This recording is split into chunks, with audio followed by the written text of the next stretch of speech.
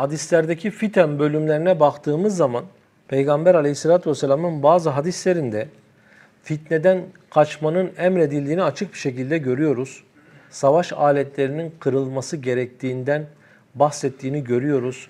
Yayları kırılması gerektiğinden, kılıçları taşa vurması gerektiğinden açık bir şekilde Nebi sallallahu aleyhi ve sellem bahsediyor. Hatta böyle dönemlerde eve çekilmenin gerektiğinden bile bahsediyor.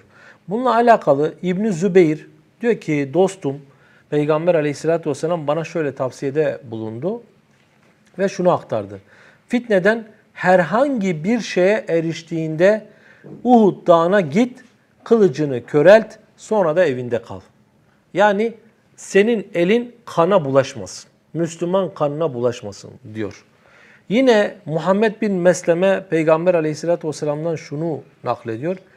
Şurası muhakkak ki bir fitne, bir ayrılık ve bir ihtilaf olacak.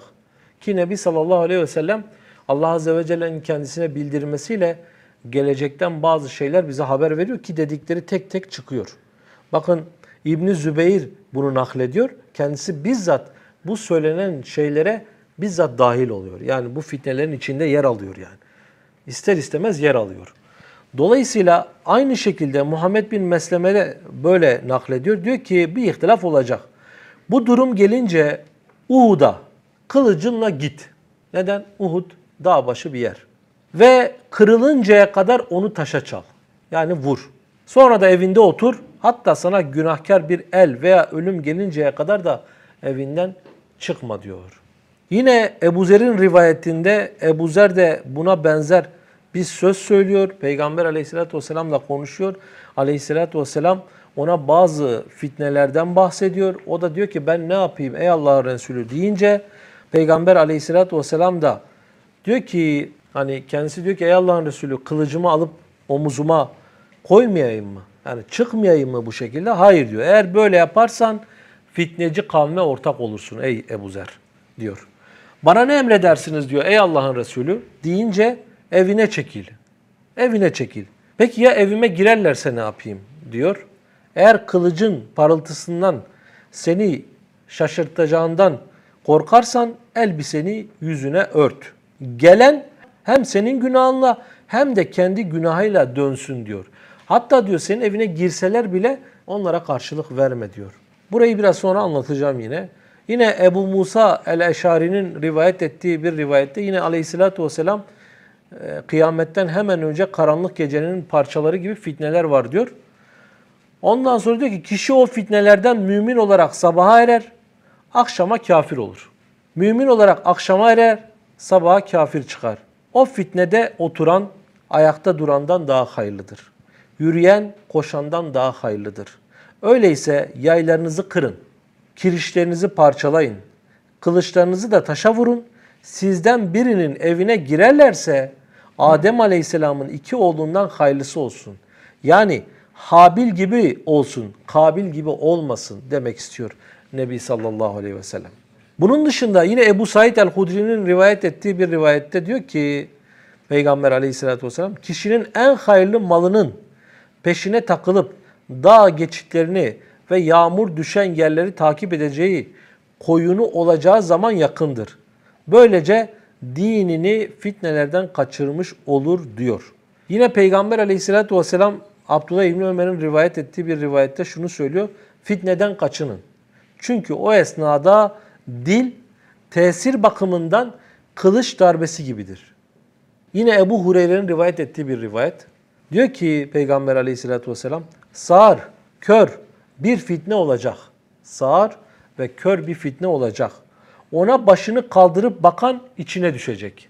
Dil o fitnede kılıç darbesi gibi olacak. Şimdi buraya her birinizin dikkatini çekmek istiyorum. Burada kastedilen fitne, öncelikle şunu söyleyeyim. Burada kastedilen fitne, yani iki Müslüman topluluğun karşı karşıya gelip savaşmasından bahsediyor. Yoksa biz fitneleri anlatırsak, fitnenin birçok çeşidi vardır. Şirk bir fitnedir, bidat fitnedir, kadınların dışarı çıkması bir fitnedir. Fitne fitne bir sürü Kur'an ve sünnette anlatılan fitne diye isimlendirebileceğimiz şeyler vardır. Bugün özel olarak müellif bundan bahsediyor aslında. İki Müslüman topluluğun karşı karşıya gelmesinden bahsediyor. Yani iki Müslüman topluluk karşı karşıya geldiği zaman dilini tut. Çünkü dil kılıç darbesi gibidir. Düşünün iki cemaat topluluk var. Karşı karşıya gelmiş. Arada aracılar var. Laf getirip götürüyorlar. Heh yapma diyor bunu. Hatta onun hakkında bir şey söylemişse bile o lafı taşıma. Çünkü senin o lafı taşıman bir kılıç darbesi gibidir. Orayı gaza getirir, burayı gaza getirir. Sonra iki Müslüman topluluk birbiriyle vuruşurlar. İşte bu fitnenin ta kendisidir. Ki sahabe döneminde de aynen böyle oldu. Arada laf getirip götüren insanlar Peygamber aleyhissalatü vesselamın ashabını birbirlerine kırdırdılar. Fitne dönemi öyle bir dönemdir ki kardeşler, fitne dönemi öyle bir dönemdir ki mal güvenliği, can güvenliği, ırz güvenliği kalkar gider ve insanlar birbirlerine düşerler. Bu ne demek? Bu şu demek. Özellikle siyasi kargaşanın olduğu zamanlar veya sosyal kargaşaya sebep olan anarşi, iç savaş ve benzeri şeyler bunlar Müslümanlar için çok büyük bir fitnedir aslında. Çünkü böyle zamanlarda Müslümanların mal, can ve ırz güvenliği olmaz. İmam Ahmed'e soruyorlar. İmam Ahmed diyor ki bu konuda fitne diyor insanların işlerini düzenleyen bir yönetici olmadığı zaman söz konusu olur. Bakın dikkat edin. Bir yönetici olmadığı zaman fitne söz konusu olur. Doğru mu? Doğru. Çünkü başsız olan Müslümanlar hep birbirlerine girerler. Zaten bak İslam tarihine Osman radıyallahu anh'ın zamanında sıkıntı yok. Öncesinde sıkıntı yok. Ne zaman ki Osman radıyallahu anh vefat etti, hilafet tartışması çıktı. Ondan sonra savaşlar başladı. Yani biri birinin başlığını, hilafetini kabul etmediği için çıktı. Bir belirsizlik olduğu için çıktı. Bunlar büyük fitnedir. Hani belki Peygamber aleyhissalatü vesselamın daha önce zikrettiğimiz hadislerini anlamayanlar için söylüyorum. Yani iki kişi hilafetini ilan ederse birini öldürün. Biri diyebilir ya nasıl olur Müslüman o? Hayır bu daha büyük ölümlere sebebiyet vereceği için Peygamber aleyhissalatü vesselam ilk hilafeti ilan edene beyat edin öbürünü öldürün. İkincisini kesinlikle kabul etmeyin. Sebebi işte siyasi kargaşa ve anarşi çıkmasın diye yapıyor Peygamber aleyhissalatü vesselam. Dolayısıyla İmam Ahmet de başsız insanların fitnenin içinde yer alacağını söylüyor. Bugün de böyle değil miyiz? Bugün de böyleyiz. Yani bir grup orada, bir grup burada. Her biri yanındakiyle seviniyor. Halbuki başımızda Müslüman bir halife olsa ne yapardı? Son sözü o söylerdi. Olay biterdi. Ama öyle yok. Olmuyor. İşte bu da fitne midir? Evet bu da fitnenin başka bir çeşididir. Müslümanların birbirlerini tekfir etmesi, Müslümanların birbirleriyle karşı karşıya gelememesi, birbirlerine söz bile söyleyememesi fitnedir işte yani. Ama bazıları sebep oluyor, bazıları sebep olmuyor. Bunu iyi değerlendirmek gerekiyor. Yine İmam Ahmet şunu naklediyor. Halifenin elçileri İbnül Kelbi el-Muzaffer dedi ki zorlukta ve rahatlıkta, istekli veya isteksiz olunduğu zamanlarda ve kayırmacılık yapılsa dahi yöneticiye itaat edilmesi görüşündeyim dedi İmam Ahmet. Kime söyledi bunu? Halifenin elçilerine söyledi. Çünkü herkes İmam Ahmet için bazı şeyler söylüyordu. Yani o hilafete baş kaldıracak, şöyle olacak, böyle olacak. İmam Ahmet ne dedi? Hayır dedi. Ben zorlukta, rahatlıkta, istekli veya isteksiz, kayırmacılık yapılsa bile itaat etmem gerekiyor. Ve insanları da itaat için emrederim. Çünkü sebep ne? Fitne çıkacak. Anarşi çıkacak. İnsanlar birbirlerine girecek. Bakın şuraya dikkat edin. Bu rivayet İmam Ahmed'in bütün görüşlerini cem eden bir rivayet. Ebul Haris Es-Saik rahimahullah dedi ki Ebu Abdullah Ahmet bin Hanbel'e Bağdat'ta meydana gelen hadiseleri, olayları, fitneleri sordum. Bir topluluk ayaklanmayı düşünüyordu diyor. Dedim ki ey Ebu Abdullah şu toplulukla beraber ayaklanmak hakkında ne dersin? Buna şiddetle karşı çıktı ve şöyle demeye başladı. Subhanallah, Subhanallah. Kanlar, kanlar bunu uygun görmem dedi. Emretmem dedi. İçinde bulunduğumuz duruma sabretmek kanların döküldüğü, malların mübah sayıldığı, mahremiyetlerin çiğnendiği fitneden hayırlıdır dedi. Fitne günlerinde insanlara neler olduğunu bilmez misiniz dedi. İnsanlar zaten şu anda fitne içinde değil mi ey Ebu Abdullah dediler. Ne demek? Hani zaten insanlar Kur'an mahluktur diyor. Zaten insanlar fitnenin içinde değiller mi dedi. Bakın İmam Ahmet nasıl cevap veriyor. Öyle de olsa o özel bir fitnedir. O özel bir fitnedir. Kılıç çıktığı zaman fitne genelleşir, yollar kesilir. Bu duruma sabretmek dinin için daha selametli, senin için de daha hayırlıdır dedi. İmam Ahmet buna niye böyle söylüyor? Çünkü diyor ki iki Müslüman topluluk karşı karşıya geldiği zaman büyük ölümler meydana gelecek. Bakın mesela daha önce İslam tarihinden bazı örnekler verdim. Dedim ki iki tane Abbasi halifesi İmam Ahmet döneminde hilafet kavgası yaşadılar. Orada arada kim öldü? Garibanlar öldü. Müslüman askerler öldü. Ve Bağdat kana bulandı. Evler yakıldı. İmam Ahmet'in tam olarak kastettiği buydu. Çünkü kılıçlar çekildi mi? İki Müslüman topluluk yan yana karşı karşıya geldi mi? Artık olan olmuştur. O onun karısına göz koyar, öbürü öbürünkine, öbürü öbürünün malına göz koyar, öbürü öbürünkine. Bu böyle olur. Çünkü anarşi olduğu zaman kimse kimseyi tanımaz. İnsanların gözleri döner. Bu da büyük bir sıkıntıdır ki İmam Ahmet kendi dönemindeki insanlara sabredin, sabredin demesinin sebebi bu. Çünkü zaten İslam devleti şeriatla hükmediliyor. Baştaki adamda sıkıntı var. E bu ölüp gittikten sonra yerine başka biri gelirse daha iyi olabilir mi? Olabilir. Her biriniz hatırlarsınız itaat dersinde şunu söylemiştim belki. Öyle hatırlıyorum. Bazı alimlere sormuşlar. Demişler ki baştaki imam kafir olursa yine itaat etmemiz gerekir mi? Alimlerin bazıları demişler ki eğer yerine daha iyisini getiremeyecekseniz veya insanların ölümüne sebebiyet verecekseniz bunu yapmanız doğru değil demiş. Ne demek bu? Bu şu demek. Yani bu ölüp gider, yerine başkası gelebilir ve size hayırla hükmedebilir. Doğru mu? Bu olabilir mi? Evet olabilir. Dolayısıyla sen ayaklandın, sen kargaşa çıkarttın, e, Müslümanları birbirine kırdırdın. Bu sefer kafirler senin o şeriat devletinin içine girmiş olacaklar ve bir daha belki onu dahi kuramayacaksın. Ki zaten bugün bakın durumumuz da böyle değil mi? İnsanların kendi aralarında çıkan fitnelerden kaynaklı bugün İslam ümmeti bir türlü ayağa kalkamıyor. Bir türlü ayağa kalkamıyor. Diz çökmüş. Tam kalkmaya çalışıyor, vuruyorlar. Tam kalkmaya çalışıyor, vuruyorlar. Bir türlü bunu yapamıyorlar. İşte İmam Ahmet'in tam olarak kastettiği iki Müslüman topluluğun karşı karşıya geldiğinde insanların susması, fitnelerden uzak kalması, baştaki emre itaat etmesi, sabretmesi gerektiğidir. İtaat etmesen bile sabretmek şarttır.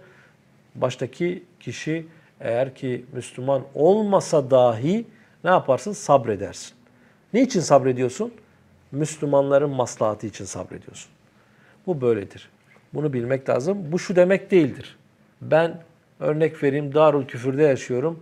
İşte baştaki Emir el Müminin halife öyle bir şey yok. Biz bunu demiyoruz. Kastımız bu değil. Bugün üzerine konuştuğumuz meseleler hep işte Abbasi devletinden bahsediyoruz. O olaylar üzerine veya daha önceki devletler üzerine. Onun için o zamanki selef böyle yapmış. Sabretmiş. Hatalarını görse de yanlışlarını görse de sabretmiş. Ümmetin maslahatı için bunu sabretmiş ama günahlarına ortak olmamış. Hatta İmam Ahmet gibi bir adam onun sarayında yemek bile yememiş yani. Niye yememiş? Zalim olduğunu bildiği için yememiş yani. Dolayısıyla bunu da iyi ayırt etmek gerekiyor diyebilirim. Evet.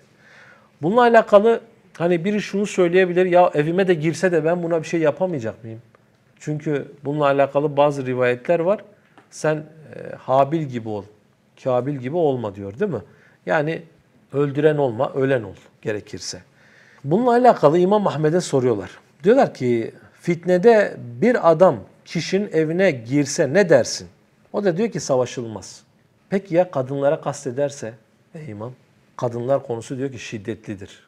Burada ayrı bir parantez açıyor. Kadınlar konusu şiddetlidir diyor ve Ömer radıyallahu anh'tan bazı rivayetler naklediyor. Bu başka bir durumdur diyor. Çünkü burada kadınlara yönelmek, ırza yönelmek, sen burada sabretmeye bilip karşı tarafa karşılık verebilirsin diyor. Evet. Peki burada da şöyle bir şey sorulabilir. Fitne döneminde kişiye düşen nedir? Yani uzaklaşması mıdır?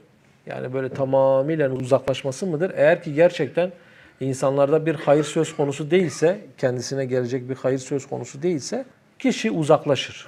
Ama bir hayır varsa, kendini haramlardan koruyabiliyorsa İmam Ahmet diyor ki şehirlerde kalmak daha hayırlıdır. Hatta bununla alakalı Ebu Said el-Hudri'nin rivayet ettiği bir rivayet var. Diyor ki insanların hangisi fazilet sahibidir diye sordular Peygamber aleyhissalatü vesselam. Aleyhissalatü vesselam dedi ki Allah yolunda malı ile canı ile cihad edendir dedi. Peki ondan sonra kimdir ey Allah'ın Resulü diye sordular. Dedi ki kuytulardan bir kuytuda Rabbi olan Allah'a ibadet eden insanları kendi şerrinden uzak tutan mümindir dedi. Bakın ikinci olarak ne zikrediyor cihattan sonra? Yani inzivaya çekilen, Rabbine ibadet etmek için köşelere çekilen insandan bahsediyor. İşte bunun üzerine alimler konuşmuşlar. Demişler ki peki Peygamber aleyhissalatü vesselam bunun çok hayırlı bir amel olduğunu söyledi. İnsanların fitnelerden uzaklaşıp inzivaya çekilmesinin güzel bir şey olduğunu söyledi. Peki bu mu daha hayırlıdır? Yoksa insanların arasına karışmak mı daha hayırlıdır? Çünkü bu mesele alimler arasında tartışılmış. Biz biliyoruz ki daha önce de zikrettik. Peygamber aleyhissalatü vesselam bu dinin ruhbanlığı cihattır diyor. Cihat. Aleyhissalatü vesselam ondan bahsetti. Peki bunun dışında kişi böyle fitne döneminde köşesine çekilebilir mi? Bu bizimle alakalı da bir soru. Çünkü bazı abiler diyor ki ya her yer fitne dolu, hiçbir cemaate gitmiyorum diyor. Veya insanlarla konuşmuyorum diyor. Onunla görüşmüyorum, bununla görüşmüyorum, tek takılıyorum, tek tabancayım diyor. Veya tek başıma ibadet ediyorum diyor. Diyor da diyor. Peki bu doğru bir şey midir? Bu doğru bir şey değildir kardeşler. Alimler şunu konuşmuşlar. Demişler ki insanlar arasına karışmak mı daha eftaldir yoksa kişinin köşesine çekilmesi mi normal zamanlarda? Demişler ki insanların arasına karışmak daha eftaldir. Çünkü Peygamber aleyhissalatü vesselam ve ashabı hep böyle yapmış. Köşesine çekilmemiş. İnsanların arasına karışmış. İki, demişler ki çünkü onlar demiş insanların eziyetlerine sabrettiler. Hakkı anlattılar, sabrettiler. Emri bil maruf yaptılar, sabrettiler. E ne oluyor? Eziyetlere sabretmek bir ecirdir. Hem anlatırken ecir kazanıyorsun, hem eziyetlere sabrederken ecir kazanıyorsun. Ki Peygamber aleyhissalatü vesselam ve ashabı da böyle yaptı. Ama sen köşende oturmuş olsaydın senin faydan kime olacaktı? Sadece kendi nefsine olacaktı. Oysa senin insanlar arasına karıştığın zaman insanlara da faydan var. Onlara emri bil maruf yapıyorsun. Onun için bu böyledir demişler. Ve dördüncüsü olarak Ebu Hureyre'nin bu rivayetini nakletmişler. Peygamber aleyhissalatü vesselamın ashabından bir kimse tatlı su kaynağı bulunan bir yerden geçti diyor. Oranın manzarası ve suyun tatlılığı o kadar çok hoşuna gitti ki keşke insanlardan uzaklaşıp manzarası güzel şu yerde yerleşsem dedi. Ama Allah Resulü Aleyhisselatü Vesselam'dan izin almadan bu işi yapmayacağım dedi. Hani bizim de başımıza geliyor çok güzel bir yer görüyoruz. Diyoruz ki ya şu insanlardan kurtulsak da gelsek burada sadece Allah'a ibadet etsek öyle bir hissiyat ki Mekkeliler suya hasret olan bir kavim. Öyle bir yer gördükleri zaman demek ki çok hoşlarına gidiyor ama dikkat edin Peygamber Aleyhisselatü Vesselam'a sormadan bunu yapmayacağım diyor. Ve gelip Peygamber Aleyhisselatü Vesselam'a soruyor. Aleyhisselatü Vesselam da bunun doğru olmayacağını söylüyor. Diyor ki sizden birinizin Allah yolunda cihat için kısa bir süre olsa bulunması yani kısa bir sürede de bulunması 70 yıl evinde kılacağı nafile namazdan daha faziletlidir diyor. Allah'ın sizi affetmesini ve cennetine koymasını istemez misiniz diyor. O halde Allah yolunda savaşın. Kim Allah yolunda deve sütünün sağılması kadar bile kısa sürede savaşırsa cennet o kimseye vacip olur diyor ve ashabını buna yönlendiriyor. Yani inzivaya çekilme, ruhbanlık yapma diyor. Bunu bilmekte yine fayda var. Dolayısıyla dördüncüsü olarak şunu söyleyebiliriz ki insanların arasına karışmak şu faydaları getirir. Mesela sen insanların arasına karıştığın zaman Müslümana çok yönlü şer'i bakımdan yararlar sağlıyorsun. Mesela örnek vereyim selam veriyorsun. Selam alıyorsun. Ondan sonra sarılıyorsun. Ondan sonra İslam devleti olsa camilere gidiyorsun. Namaz kılmaya gidiyorsun. Müslümanın bir ihtiyacı oluyor. Onun ihtiyacını gideriyorsun. Aleyhisselatü Vesselam'ın o mükafatlarına, müjdelerine nail oluyorsun. Her kim bir Müslümanın ihtiyacını giderirse Allah da onun ihtiyacını giderir gibi. Yani insanların arasına karışmak İslam'ın şiarlarını yüceltmek manasındadır. Veya sen insanların arasına karıştığın zaman işte bu sakalınla İslam'ın şiarlarını üzerinde taşıyorsun. İnsanlar seni görüyor. Birçok faydası var.